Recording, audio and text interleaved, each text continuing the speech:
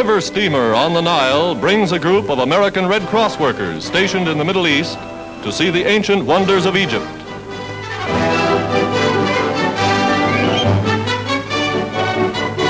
Boarding a camel train, they ride into the desert to visit the tombs of the pharaohs.